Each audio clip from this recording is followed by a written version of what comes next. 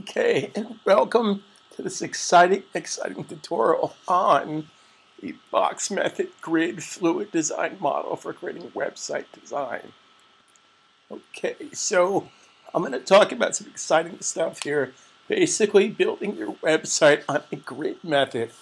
Grid method was designed, was developed about five, six years ago. And uh, if you use the grid method to design your sites here, It'll be flexible for mobile devices because here's how it works. Here's how it thinks here. There's 960 pixels roughly fits inside of a 13-inch monitor. Actually, it's technically 13 and a half inches. So there's different types of box models. There's actually 978 grid. I'm not a big fan of that. I like the 960 fluid grid method. Now, what do I mean by that? Okay, we're in Illustrator right now. Now, for those of you that don't have Illustrator or don't know Illustrator, I'm going to take this one step at a time. I'm going to make this so simple. We can do a fully mock-up using Illustrator, using Photoshop, using InDesign, using Fireworks. I prefer the tool set in Illustrator to do this because it creates very, very flexible settings and I can basically change things on the fly very simply. So let's get started here. All right, when I create an Illustrator document, this particular document happens to be 960 by 640, 960 wide by 640 high. So here's how the 960 grid method works here. Each box here that you see represented by gray, I have this gray background I've created myself. So each box is 60 pixels wide and 60 pixels high. Okay, there's 72 pixels to an inch, so if you do the math, it's 12 pixels to an inch. Now, between each box is 10 pixels on the left, 10 pixels on the right. So each box in between represents 20 pixels.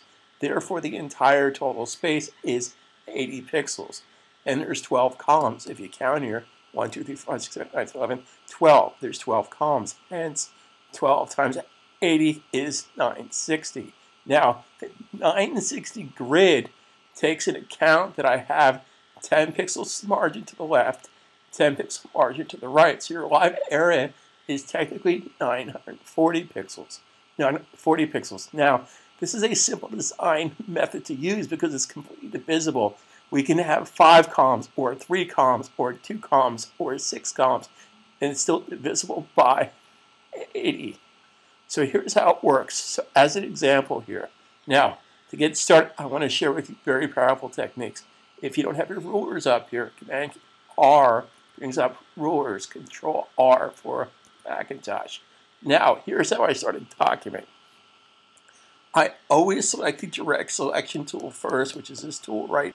Get direction tool, direct selection tool by simply hitting A key. A key for Macintosh and Windows. Now pay close attention here. Once I activate the direct selection tool, which is the white arrow, not the black arrow, that's the most powerful tool in the whole arsenal. So at this point, as an example, say that I want to create a rectangle, which I want to do. The shortcut for the rectangle tool is the letter M. It's not the letter R. The letter R is for rotating. So M creates the rectangle tool. Now here's my objective here. If I create a rectangle, what doesn't the rectangle tool do? The rectangle tool does not select. So how do I select? I select by simply holding down the Command key. This technique works in Photoshop, Illustrator, InDesign, QuarkXPress, Fireworks, Flash. Anytime you hold down the Command key, Macintosh, or the Control key in Windows, it will go to the last one of these tools you selected. So as an example, I started out the project by doing A key.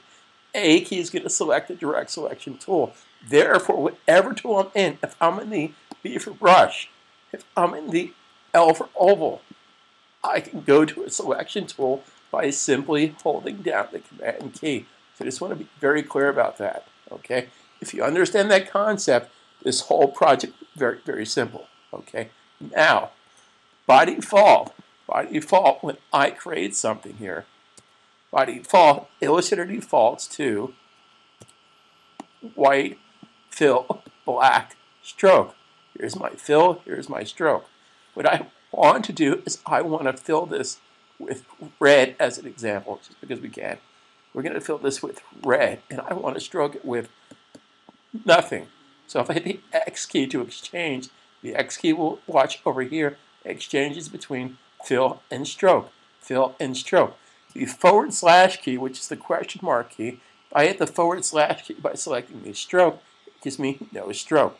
So this is how I want to start my design with red box. I just want to make a bunch of red boxes. So here's how it works. Okay. Now, if I'm in the rectangle tool and I got there by hitting the letter M, wherever I click, that's where it's going to start, the top left-hand corner. That's where it's going to start to make that box. Incidentally, before we go further here, under the preference menu, we're going to set our units of measurements to pixels. Pixels for stroke, pixels for general. This program, because it's a desktop publishing program by default, it defaults to points. We want to default to pixels because we're going to build a 960 to grid we can bring into our Dreamweaver file and build over on top of it. Also for layout and design, 960 grid is very, very fluid, very, very good thing to know, and I will show you how to do it. Okay, now what we need to do here is create a rectangle. I'm just going to click any place on the page, it doesn't matter. I'm going to just click. This dialog box is going to come up. So let's think about something. We're going to make a rectangle that's going to take up the top portion of my page minus the margins of 10 pixels. So I can simply do this. 10 pixels to the left and 10 pixels to the right is 20 pixels. So therefore, 960 minus 20 is 940. You can do math just like in Illustrator. I'm sorry, just like in Dreamweaver, I can do the math. Okay, now let's take the height. Each box height is 80 pixels, including margin space. So we want to make this 80 times 2. 80 times 2 is 160. So we're going to make our top branding box for this 940y by 160 high. And I hit the return key. Okay, now, where do we want to place this? Now, of course, we can hold down our command key in place up here. Then we're kind of guessing. With CSS, we have to be exact. We're going to turn this file into a grid, comp grid, that we can bring into Dreamweaver and build our CSS over on top of it. But this is a very good design tool using the 960 fluid grid box model method. Say that five times fast. Now, what I want to share with you here is I want to bring up a couple of palettes. First palette is Swatches palette. Second palette is the Transform palette. Third palette, which we're not going to use too much today, is the Layer palette. All palettes in all Adobe programs under the Window menu. Window Swatches, Window Transform. So here's how this works. I'm going to take the transformation here, and if you click right here, I want to move this box. It's already the right width and height. I want to change the X and Y positioning. X, of course, is horizontal. Y is up and down. So we're going to change this to X position. We're going to change this to 10 pixels over. Tab key, 10 pixels down.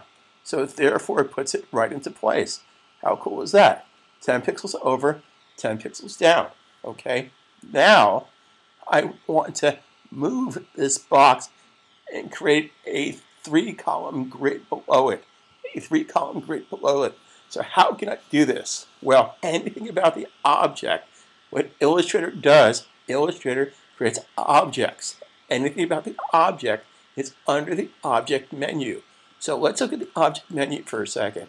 Based on these choices, object, object, transform, anything about transformation is under the object transform menu.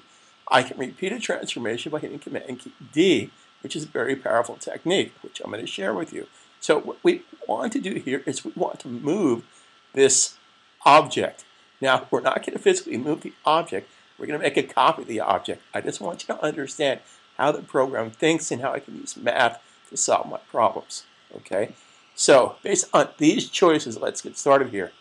We don't want to move this horizontally, so we're going to put it in zero we do want to move it the height of itself. Well, what is the height of itself? Well, if you come over here, you can see the height of itself is 160 pixels. So vertically, we want to move this 160 pixels plus, plus what? Plus 20, plus 20 pixels. Therefore, it's going to take this and it's going to move it down. Or horizontally is x, vertical is y. And we want to make a copy. Very important step here. We want to make a copy. So there's our second box. Our second box is at the exact same place and it's separated by 20 pixels. 10 for the top box, 10 for the bottom box. 10 and 10 is 20, the last time I checked. Okay, now here's the fun part. We want to set this up into three columns spaced with 20 pixels of space. So I call this next technique the hand method. What do I mean by that? I have five fingers, I have four spaces. However many spaces you have, it's one less than the amount of objects that you're going to come up with. So as an example, if you had 50 boxes, how many spaces would you have? 49. If you had 77 boxes, how many spaces would you have? 76. Again, it's the hand method. Look at your hand, look at your fingers. How many space for five fingers? I assume that you have five fingers. If not, you have to do math. So five fingers give you four spaces. So what does all this mean? We want to have three boxes. So how many spaces am I going to have? I'm going to have two spaces. Three boxes give me two spaces. Five boxes give me four spaces. One million boxes give me 999,99,000 spaces. It's always one less. So how does that help me? Well, we're going to come to the width right here, and we're going to get rid of the space first. We're going to take the width of this, which is 940 pixels here. These are my master techniques. It's to build a pixel perfect website. Pixel perfect, right on the money every time. So we need to get rid of the space. So how much space do we have? Three boxes. I have two spaces. How much is each space? Each space is 20 pixels. 20 times 2 is 40. So we're going to take 940 and literally minus 40. Minus 40 pixels because we have to get rid of the space first for the width. The width here, we need to get rid of the space. Now, how many total boxes do we need? Well, we need three. So how do we get three boxes that are equally spaced? We divide this, we simply divide by 3. Divide by 3 which gives us this box. Simple, simple, simple. Now, I need to go back to the object menu. Anything about the object is under the object menu. Object transform, move the object. Command Option M moves the object.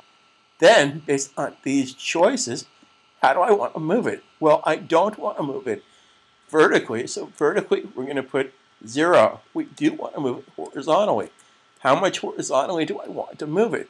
I want to start moving the width of itself. What is the width of itself? Well, according to the property palette, the width of itself is 300 pixels.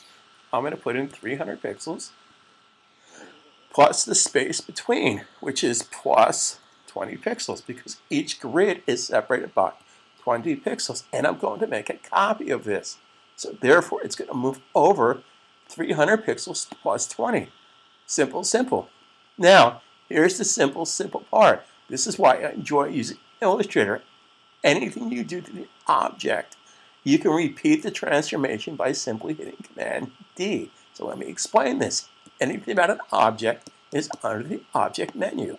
So what we've done right here is we have transformed the object by moving the object. More specifically, we copy the object now, unfortunately, copy is not part of this written scenario, but I did move the object, I did copy the object. Therefore, Command key D, Macintosh, Control key D for Windows would repeat the transformation. Simple, simple, simple. All I have to do here is throw the math at it, and it figures out the rest. It's a genius method. I've been using this method for decades. I've been teaching this program since 1987. So if there's a better, quicker way to do things, I'm I. So if I simply command D, that makes my next perfectly aligned grid. Make a change, save a change. Okay, now we want to do something a little different here. Down here, over here in the bottom left here, we want to have maybe one, two, three separate uh, maybe buttons or separate sections, maybe ads or something that go down here. So how can we do that? We're going to take this box and take the height of the box. What's the height of the box? Now, if I want to be totally, totally lazy here, I can take the height of the box and I can copy that. Command C copy. Therefore, when I go to move this object move, which is Command Option M, move object, we're going to move this. We're going to move this not horizontally, zero. We're going to move this the height of itself, which is vertical, plus plus 20 pixels. I always want to put that 20 pixels back into my grid and always make sure you click copy. If I don't hit copy, it's going to move this. I don't want to move this. I want to copy this. Okay, now between this top and this bottom here, I want to have four separate boxes. I want to have four separate boxes. Actually, considering the size here, let's say we want to have three separate boxes. Let's go with that. How would I get three boxes? Well, if I have three boxes, how many spaces? Not how much space, but how many spaces. Forget the how much space, how many space is. Two different things. So if I have three boxes, how many, how many spaces do I have? Two, again, it's the hand method. Hold out your hand, five fingers, four spaces. Three fingers, two spaces. One finger, no space. Okay? So uh, what do I do with that information? So what's the height of itself? Well, here's the height of itself right here, 160 pixels. So how many spaces do I have? If I want three boxes, I have two spaces. My space is 20 pixels. 2 times 20 is 40, so I'm going minus 40 pixels. Simple, simple math. If you guys slept through fourth grade math, this is going to make your head fall off your shoulders. I just want to keep this so simple. Illustrator will do math for you. So I minus the 40 pixels. Okay. Then how many boxes do I want? Well, here's the height of the box. I want three of them. So I can divide by three. Simple. Genius. There's my box. Now I go back. Now if I want to be totally lazy again, here's the height of the box, 40 pixels. I can copy the height of the box. Therefore, when I go back to, we're doing the same technique over and over and over. So when I go back to transform, move, we're going to move this. We're not going to move it horizontally. We're going to move it vertically, the height of itself. The height of itself plus the space, which is 20 pixels, because it's a 20 pixel grid between each box. It's 20 pixels between each box. 10 for the top and 10 for the bottom. Always make sure you hit copy. So how do I get that second box? Command key D. Object, transform, repeat transformation, Command D. Command D. So if you want to keep going with that, you could. So there I have four boxes. Okay, we don't want four boxes. Make a change, save a change. So it's really, really this type of thinking over and over and over and over again. So let's finish this area in here. We want to put a foot, a single column right in here. So how do I do that? Now again, I just want to share with you, yes, we could drag this down to here and we could hold down the shift key and all that fun stuff. But I just want you to get very used to the math and what I'm doing here. It's very simple process. This way, it's absolutely pixel perfect. If you do it this way, it's pixel perfect. So let's take this box, the height of itself. What's the height of itself? Well, according to the measurement palette, it's 160 pixels high. So I can take this box object, transform, move, Command Shift M, Control M for Macintosh, and I could say move with the height of itself, which is paste. Copy, paste, plus, plus my 20 pixels, and make a copy. So there you go. Then I need to add back the space. So I'm going to take the width of itself, the width of itself, times 2, times 2, plus what? You guessed it, plus 20 pixels. So bingo, bango, boingo, right on money. So it doesn't matter how many columns, how many widths, etc., etc., etc. Make a change, save a change. So I'm going to get into very complex designs and show you how to do it the professional way, use my techniques. I can assure you, you will not find these techniques any place else. Any place else. Use the tool. Get to know the software. We can do the same thing in Fireworks, in InDesign, Photoshop. But I like this program. It's a vector-based program.